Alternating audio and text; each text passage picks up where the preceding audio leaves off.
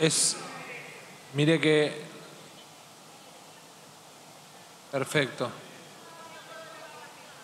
Siga.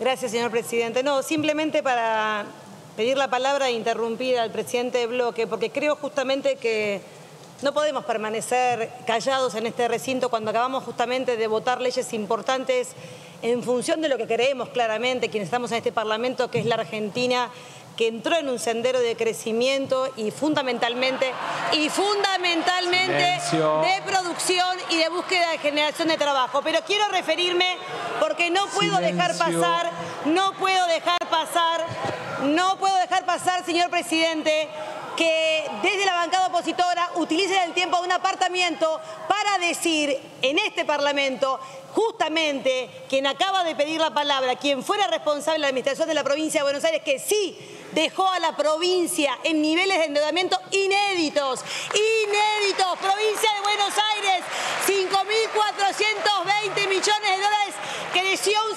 68% en la deuda en la gestión de la exdiputada.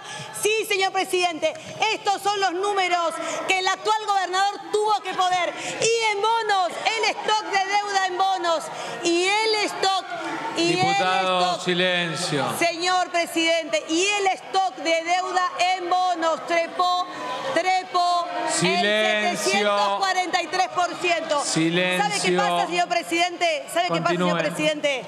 Que utilizar el tiempo de un apartamento en una cuestión clara y concreta que este Parlamento se va a abocar, que es que el jefe de gabinete venga a este recinto a explicar no solamente la gestión nacional, sino el rumbo del gobierno, es parte de lo que vamos a hacer. Pero no vamos a permitir que se chicanee, porque quien está sacando la deuda adelante la provincia es el gobernador Kisilov, con una política de desendeudamiento a nivel nacional y a nivel provincial eso, háganse cargo de la tamaña deuda que le dejaron al nacional, a la provincia y a cada una de las provincias que sometieron con el pacto fiscal en el 2017. De eso se tienen que hacer cargo ustedes.